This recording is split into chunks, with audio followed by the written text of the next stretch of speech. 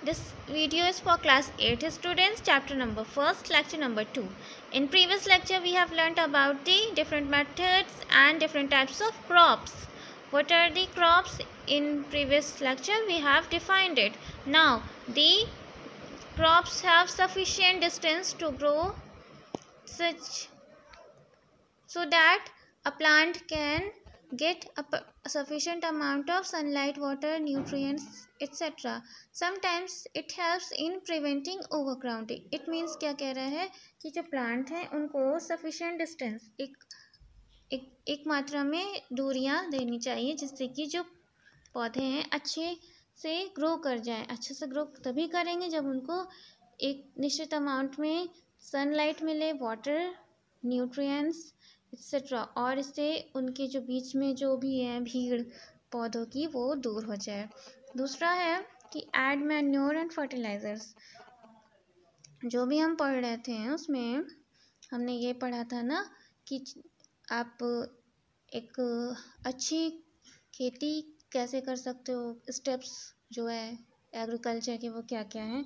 तो next step है आपका एड मैन्योर एंड फर्टिलाइजर्स पहला स्टेप था कि मिट्टी को तैयार करो देन दूसरा स्टेप था कि सीड्स को सॉ करो सीड कैसे मिट्टी में बोए जाते हैं।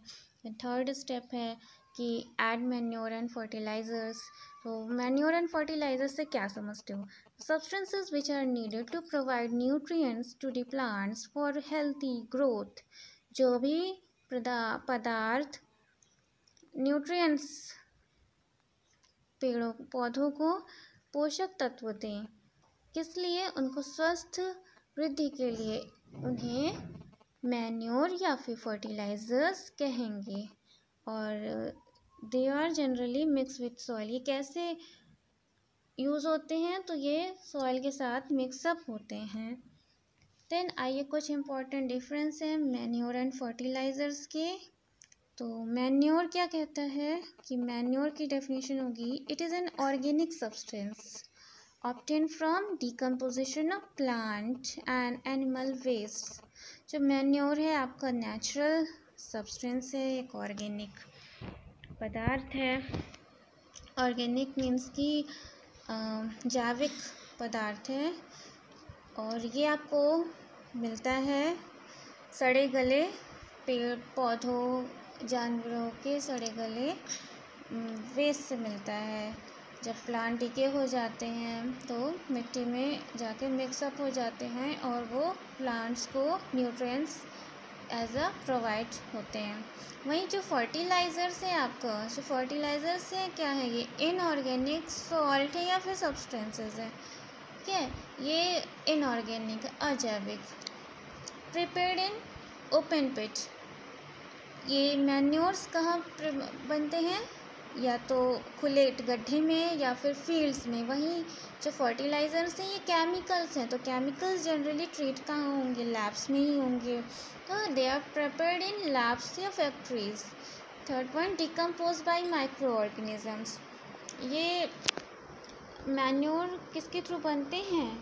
बाय डिकम्पोज्ड माइक्रो ऑर्गेनिजम्स जो भी बैक्टीरिया हैं। अर्थ वॉर्म है एक्सेट्रा सभी हेल्प करते हैं मैन्योर बनाने में। Provide humus to the soil manure जो है ह्यूमस प्रोवाइड करता है सॉइल को। वही जो फर्टिलाइज़र्स हैं it doesn't provide humus to the soil ये मिट्टी को नमी नहीं पहुंचाते हैं। हम्म, मिट्टी को एक एक स्पेशल टाइप की नमी होती है जो कि फर्टिलाइज़र्स तो नहीं देते हैं। वहीं जो मैन्योर है लेस रिच इन न्यूट्रिएंट्स जो मैन्योर हैं, ये पोषक तत्वों में इनकी जो अंदर है, वो कमी होती है। जैसे कि प्लांट्स को ग्रो करने के लिए एक एक मिन एक अमाउंट में पोटाशियम चाहिए पोटाश चाहिए अमोनिया चाहिए मीन्स नाइट्रोजन ठीक है? तो इनकी कमी मैन्योर में रह जाती है। वहीं जो फर्टिलाइज़र्स की अगर बात की जाए तो fertilizers are very much rich in this nutrients in these nutrients such as new nitrogen potassium phosphorus etc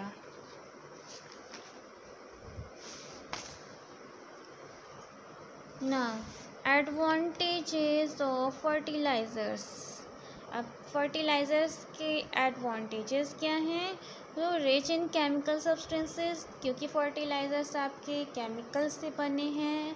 Hindi में इसे उर्वरक कहेंगे, वहीं मैन्योर को हिंदी में खाद कहते हैं। तो जनरली फर्टिलाइज़र्स केमिकल सब्सटेंसेस हैं, और जब भी ये खेतों में डाले जाते हैं तो एक बेटर प्रोडक्शन ऑफ़ क्रॉप्स मिलती है। मीन्स कि better yield of crops is provide is provided या फिर जो फार्मर है, उसे अच्छा खासा लाभ मिलता है, ठीक है? नाइट्रोजन फॉस्फोरस पोटेशियम और ये जो फर्टिलाइज़र्स हैं, बनते किससे हैं?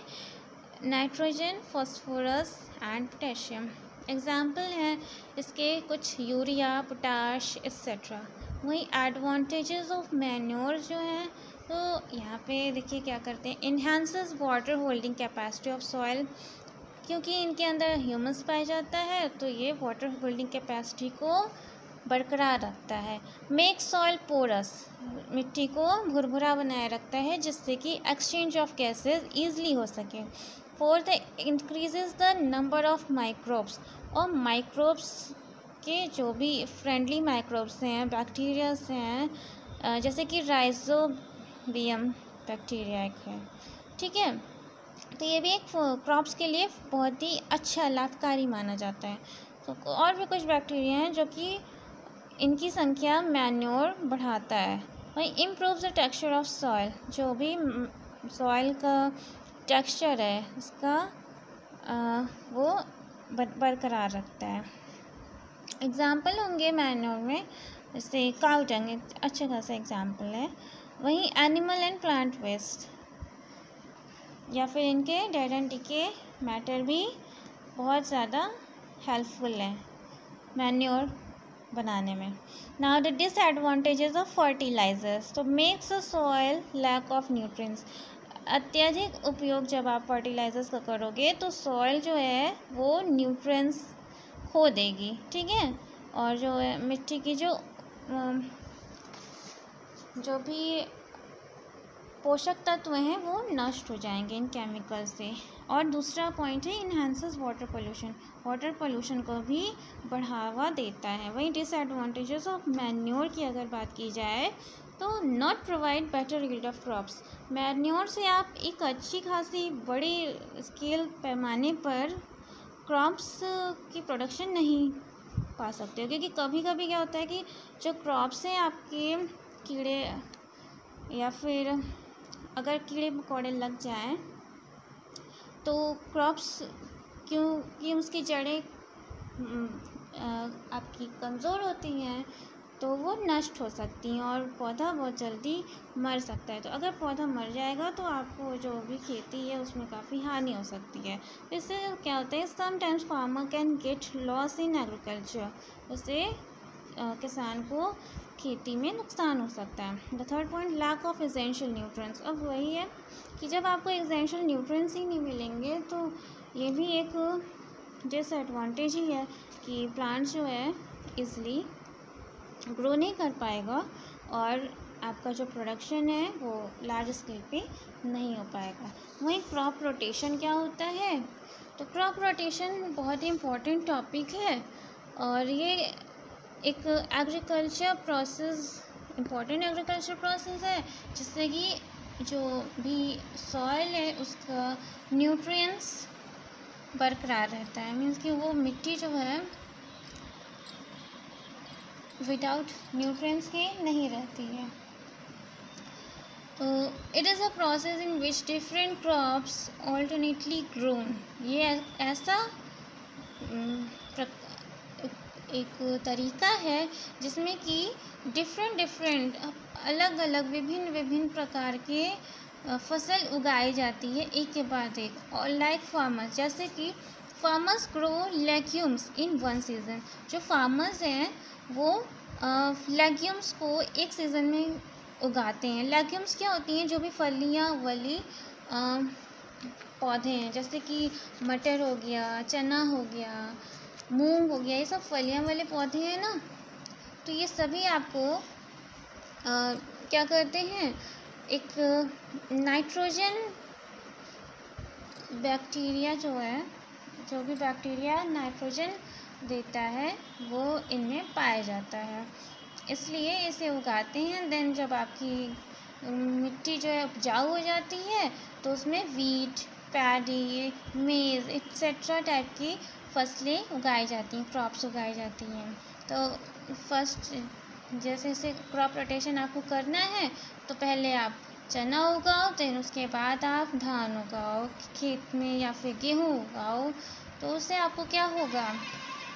आपकी मिट्टी उपजाऊ बनी रहेगी, वहीं फ़सल भी अच्छे पैमाने पे होगा।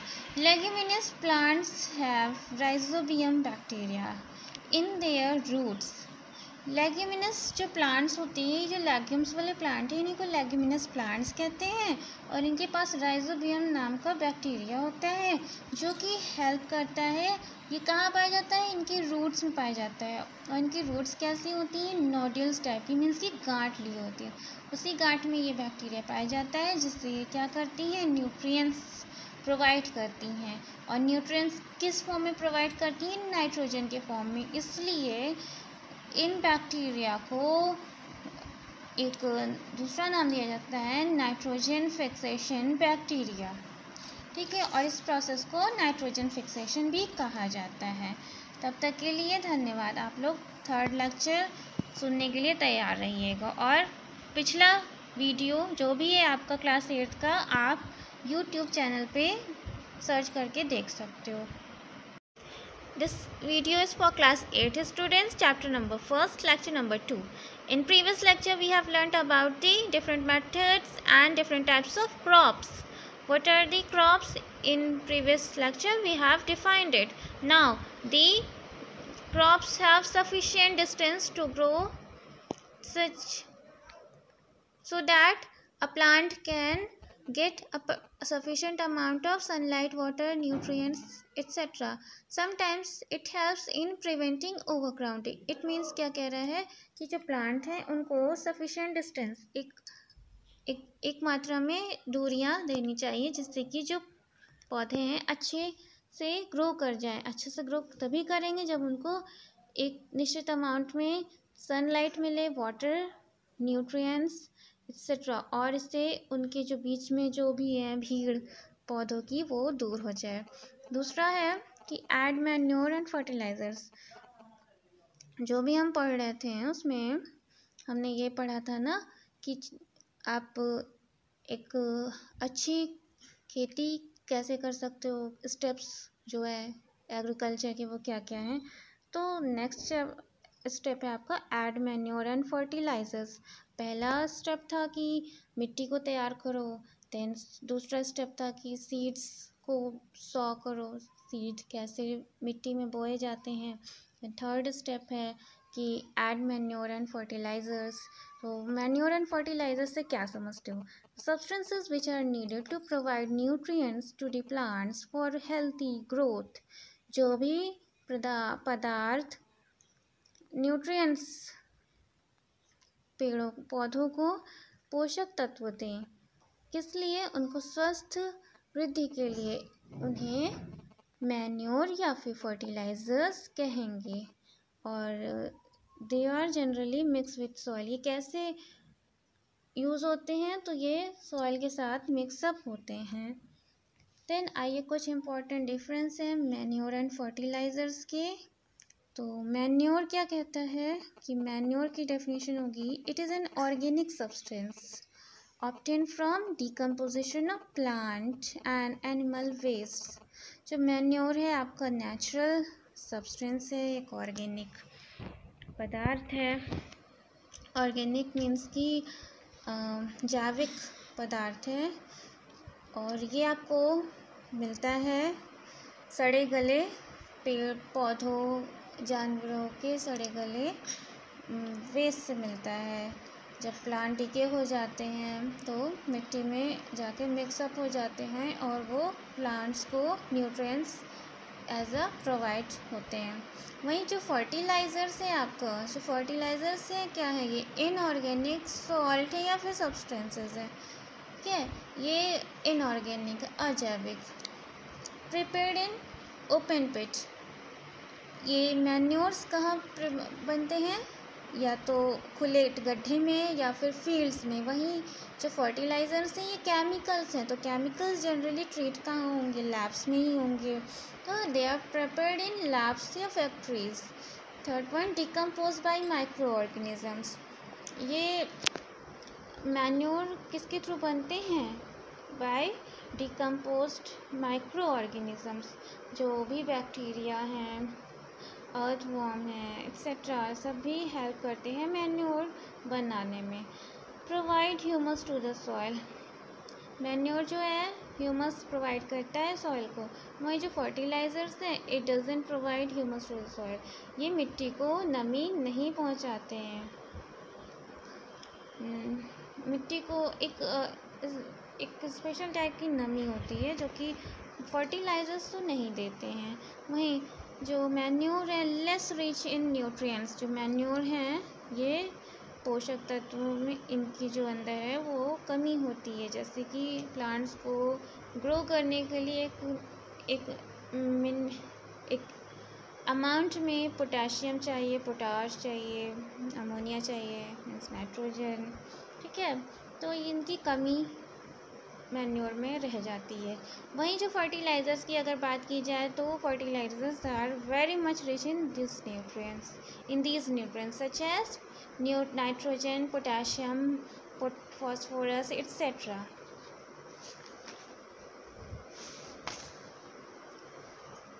now, advantages of fertilizers. अब फर्टिलाइज़र्स के एडवांटेजेस क्या हैं? तो रिच इन केमिकल सब्सटेंसेस क्योंकि फर्टिलाइज़र्स आपके केमिकल से बने हैं। हिंदी में इसे उर्वरक कहेंगे, वहीं मैन्योर को हिंदी में खाद कहते हैं।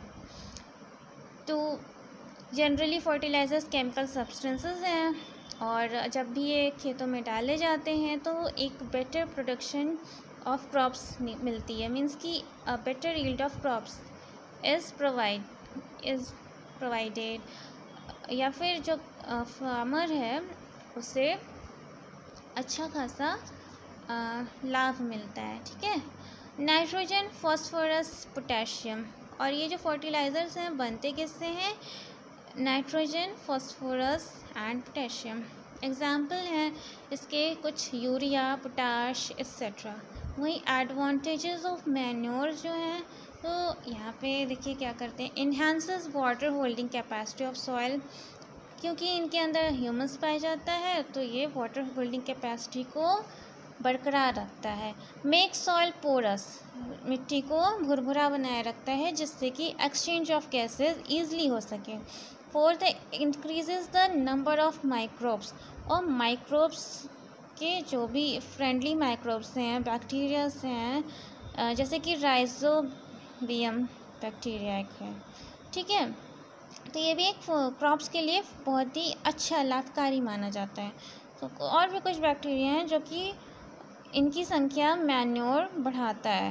वही improve the texture of soil जो भी सॉइल का टेक्सचर है उसका आ, वो बरकरार रखता है। एग्ज़ाम्पल होंगे मैन्योर में जैसे काउटंग अच्छा खासा एग्ज़ाम्पल है। वहीं एनिमल एंड प्लांट वेस्ट। या फिर इनके डेड एंड टिके मैटर भी बहुत ज़्यादा हेल्पफुल है मैन्योर बनाने में। Now the disadvantages of fertilisers तो makes a soil lack of nutrients अत्यधिक उपयोग जब आप फर्टिलाइजर्स का करोगे तो सॉयल जो है, वो न्यूट्रिएंट्स खो देगी। ठीक है? और जो है, मिट्टी की जो जो भी पोषक तत्व हैं, वो नष्ट हो जाएँगे इन केमिकल से। और दूसरा पॉइंट है enhances water pollution water pollution को भी बढ़ावा देता है। वहीं डिसएडवांटेजेस ऑफ़ मैन्योर की अगर बात की जाए तो not provide better yield of crops manure से आप एक अच्छी खासी बड़ी स्केल पैमाने पर क्रॉप्स की प्रोडक्शन नहीं पा सकते हो। क्योंकि कभी कभी क्या होता है कि जो क्रॉप्स हैं, आपके कीड़े या फिर अगर कीड़े मकोड़े लग जाएँ तो क्रॉप्स क्योंकि उसकी जड़ें आपकी कमज़ोर होती हैं तो वो नष्ट हो सकती हैं और पौधा बहुत जल्दी मर सकता है। तो अगर पौधा मर जाएगा तो आपको जो भी खेती है, उसमें काफ़ी हानि हो सकती है। इससे क्या होता है sometimes farmer can get loss in agriculture उससे किसान को खेती में नुकसान हो सकता है। The third point lack of essential nutrients अब वही है कि जब आपको एजेंशियल न्यूट्रंस ही नहीं मिलेंगे तो ये भी एक डिसएडवांटेज ही है कि प्लांट जो है इजली ग्रो नहीं कर पाएगा और आपका जो प्रोडक्शन है वो लार्ज स्केल पे नहीं हो पाएगा। वहीं क्रॉप रोटेशन क्या होता है? तो क्रॉप रोटेशन बहुत ही इम्पोर्टेंट टॉपिक है और ये एक agriculture process important agriculture process है, जिससे कि जो भी सॉइल है, उसका न्यूट्रिएंट्स बरकरार रहता है। मीन्स कि वो मिट्टी जो है विदाउट न्यूट्रिएंट्स के नहीं रहती है। तो it is a process in which different crops alternately grown ये ऐसा एक तरीका है जिसमें कि डिफरेंट डिफरेंट अलग अलग विभिन्न विभिन्न प्रकार के फ़सल उगाई जाती है एक के बाद एक। और लाइक फार्मर्स जैसे कि farmers grow legumes in one season जो फार्मर्स हैं, वो लेग्यूम्स को एक सीज़न में उगाते हैं। लेग्यूम्स क्या होती हैं? जो भी फलियाँ, वली पौधे हैं, जैसे कि मटर हो गया, चना हो गया मूंग हो गया ये सब फलियाँ वाले पौधे हैं ना तो ये सभी आपको आ, क्या करते हैं एक नाइट्रोजन बैक्टीरिया जो है जो भी बैक्टीरिया नाइट्रोजन देता है वो इनमें पाया जाता है। इसलिए इसे उगाते हैं देन जब आपकी मिट्टी जो है उपजाऊ हो जाती है तो उसमें wheat paddy maize etcetera type की फ़सलें उगाई जाती हैं क्रॉप्स उगाई जाती हैं। तो फ़र्स्ट जैसे जैसे क्रॉप रोटेशन आपको करना है तो पहले आप चना उगाओ देन उसके बाद आप धान उगाओ, खेत में या फिर गेहूँ उगाओ। तो उससे आपको क्या होगा? आपकी मिट्टी उपजाऊ बनी रहेगी, वहीं फ़सल भी अच्छे पैमाने पे होगा। Leguminous plants have rhizobium bacteria in their roots leguminous जो प्लांट्स होती हैं, ये जो लेग्यूम्स वाले प्लांट हैं, इन्हीं को लेग्यूमिनस प्लांट्स कहते हैं और इनके पास राइजोबियम नाम का बैक्टीरिया होता है, जो कि हेल्प करता है। ये कहाँ पाया जाता है? इनके रूट्स में पाया जाता है और इनकी रूट्स कैसी होती हैं? नोड्यूल्स टाइप की मीन्स की गांठ ली होती है। उसी गांठ में ये बैक्टीरिया पाया जाता है, जिससे ये क्या करती हैं? न्यूट्रिएंट्स प्रोवाइड करती हैं। और न्यूट्रिएंट्स किस फॉर्म में प्रोवाइड करती हैं? नाइट्रोजन के फॉर्म में। इसलिए इन बैक्टीरिया को एक दूसरा नाम दिया जाता है नाइट्रोजन फिक्सेशन बैक्टीरिया ठीक है, और इस प्रोसेस को नाइट्रोजन फिक्सेशन भी कहा जाता है।